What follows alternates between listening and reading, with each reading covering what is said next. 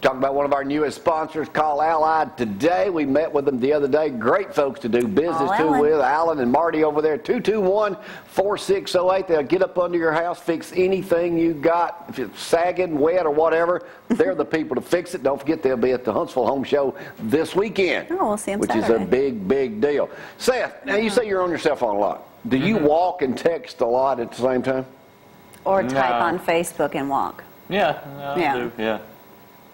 Einstein here is all the time. She never looks up. I don't understand what everybody's doing these days, walking around. that with cell- kinda like you on your iPad? Now there's an app. I ain't walking up down the street with it. No, an app makes your it to the mobile kitchen.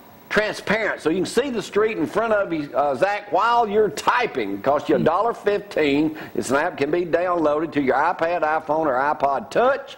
By the way, it says a lot of people are falling and running into obstacles while not looking up and That's texting bad. as they walk. Now listen. There's a free app There available are too, but that's some sad. people I need who do that not out. need to drive and talk on a phone. This is walking. walk Or multitask. And, yeah, some people can't multitask. Right. They really can't. These people Period. are walking.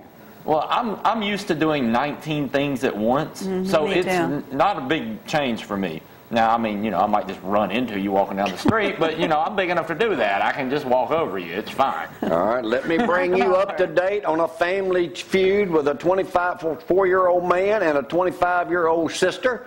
Thaddeus Morgan has been charged with assault and interfering with an emergency call. Sister claims he slapped her phone out of her hand when she tried to call police because he also broke her glasses. He would not, she did, somebody left the toilet seat down. He oh, became outraged and hit his sister. How old are they? 24, 25 and 24. 25 and 24. Old enough to know better. Yep. He slapped the phone out of her hand because she tried to call 1 911, grabbing her wrist and pushing her. Claims there was no reason. And she was throwing toys at him. Somebody left the toilet seat up. And now they go to court April 2nd. Somebody. It is a Class C felony interfering with a phone during an emergency call and simple assault, out. a Class B misdemeanor. Wow. Oh. Now, when you don't leave the seat, uh, you put the seat down like you're supposed to, I guess you can go to jail for it. That's crazy. Only if you knock the phone out. of Ladies, y'all, it's time to be big girls. okay? You you can put that thing up or down too. Okay? we don't much care for lifting it up after you've been on it either. So, you know, I'm just saying. It, Good this goes both etiquette. ways. It, it's okay, y'all can do that. Adding uh, stupidity to, to stupidity this morning, a guy, a Florida man, stopped for DUI while driving to a bar, told officers he was trying to drive it off after his wife told him he drinks too much. How'd that go, Frank? Idiots among us. They stopped him, and he says, Well, I'm going to the bar, but I'm driving my alcohol off, but I'm going to get more to drink. Sleeping it off, man. Driving. it off. Idiot. That, you use that word, your mama ain't gonna like it. I'm sorry. Idiots amongst us. Yeah, That's that's, pretty crazy. sad. Here's the big story, and I don't know if y'all have heard about it. Zach hadn't heard about it, but it's all over the news. Fox News, CNN had Yeah. it, Today Show. This teenager, 18 years old, is suing her parents. Right. She goes to a $20,000, got a $20,000 a year scholarship to go to this big school after graduating. Suing her parents, Seth, because they, she says when they got 18, they kicked her out of the house for not abiding by the rules. She wants to get $654 a week A week. as child support from her parents, who make over $250,000 a year. However, They went to court yesterday for the first time. Judge says, Have you ever seen such gross disrespect?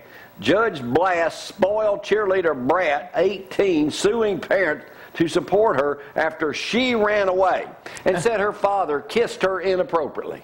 on the cheek. Now, she also left a voice message Oh, at yeah. home that. Yeah, I've- first I've all, got if it any right here. Any child talked to me like that, they'd be cut off in a heartbeat. Phone man Hey, mom, just to let you know you're a real elfing, elfing winner when you think you're so cool and you think you caught me throwing in the bathroom. And now you need to harp on mine because I didn't. I actually took a, another word for crap, which I really just want to say I would do it all over your face. Hope you have a nice life, mother.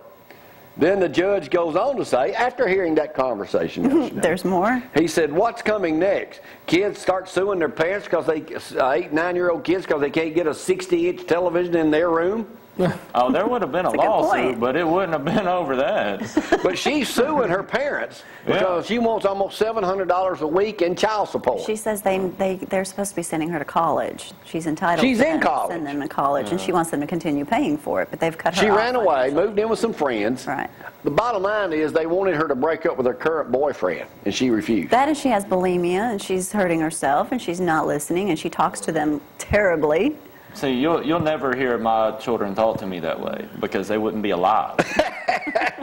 now, Seth, No. calm down. Listen, They're I was, Calm down. I was raised by my mother and father, and my mom never got out the military. You don't talk that way to your parents. You Now, wait a minute. You've had your days. out. Days. Oh, yeah, but I didn't talk like that. Well, no. You get punched in the mouth. Well, that's Yeah. speaking of, well, that's the same way it was at my house. It's like we talked about in our Sunday school group. They were talking about, well, you know, when I used to get up, my kids, you know, hate to whip them, but then, you know, they all, you know, you feel bad about it and this and that.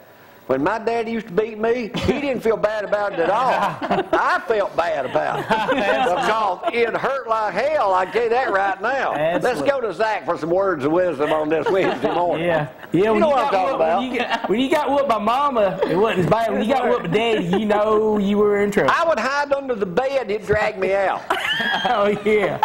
Hey, when they I wasn't used, scared of mama. I'm scared of when daddy gets home, he gonna wear your butt out. Jamie, when they used to go outside to the tree and take one of them limbs off the tree, not with the belt, but take one of them Hey, my trees. dad used a belt buckle once and hit me in the head. Of course, I was 16. Hit you in the head. You know what the worst thing as a my teenager happened?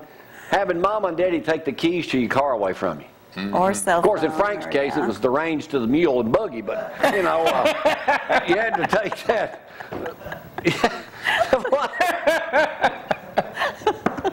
Oh. How'd that work, Frank? Not too What's up, Zach? Oh my goodness, that was pretty good, Jimmy. But, but hey, what we just talking about now, you get arrested for parents now. They, like That's I said, true. they, they get sued if they did I oh, that. do like my little brother. Had my mom just handed him the phone. and Said, "Here, go Call call him." him. I don't like you anyway." All right, Jay. Yeah, but we know your mama. that don't surprise me. Hey, I'd say last night went to memorial service for my friend Lee Malone, his mother, and got to see Harold Wells' better half, Carol, and sat with Callie Stewart, who Yeah. been taking care of Tom McAllister down at the insurance place last few months. So, uh, so I got to sit, sit with them in a bad time. But uh, here's some words of wisdom. If you find someone who makes you smile, who checks up on you often to see if you're okay, who Marry watches 'em. out for you and wants the very best for you, Marry don't 'em. let them go. Keep them close and don't take them for granted. People like that are hard to find. See, I told you. I hear you. So, All right, Zach. okay, got another one. People only treat you one way, the way you allow them. Do you think? Really? Oh, good one, Yeah. Zach. How come everybody's trying to take advantage of me? Put up People with treat me so good. That it? That's probably it for All right, let me get one thing here this morning I'm talking about. Uh, what? Seth, Seth, Seth, what time of the day would you say you're the most honest? I don't lie Oh. ever. Ever. Abby, does he? I just I don't have this. Uh, I care how you feel, so I don't have to lie. Survey says we are people are more honest in the morning. We are able less, less able to resist temptation as the day wears on. Now I know that's true with me because you know I'm all in the morning. I try to keep glory off of them as much as the kids. I got to work. I don't have to, but in the afternoon, now my temptation starts to slide a little bit. It ain't all, you know. But this says You quit telling me no You are more honest in the mornings than you are in the afternoon. But Jamie, your nighttime is like basically morning for most. of My nighttime is uh, 6 p.m. I'm out of here. Huh? But now, You're going to sleep when the sun's still up in the summer. that's why I wish we could I it would get know. dark at 4 o'clock in the afternoon. Yes. Oh, I'd go to bed at 4. Oh, Of course, my I get up at 12, but you know, but you are, you folks watching, the 2 million of y'all viewers out there we got right now, Yes. are more honest right now with your husband, girlfriend, boyfriend, boss, whatever, than you're going to be the rest of the day. Really? Yes, The morning people are honest. more honest. More honest. I, I, you know, if you read your Proverbs, out of the seven things that God hates, two of them are liars. Liars. I mean, Here's what it is. So kids, that goes for y'all too. So don't come in at night trying to say you're going somewhere and you ain't. Zach, what else you got? Is that it? That's pretty much, well, Auburn's had their pro day. Yeah, okay. Greg Robinson, that guy, he's probably going to be in the top three in the draft. He, All he really Go- Hey, by the way, coming up tomorrow, we're going to be joined by a new segment we're starting here on the program.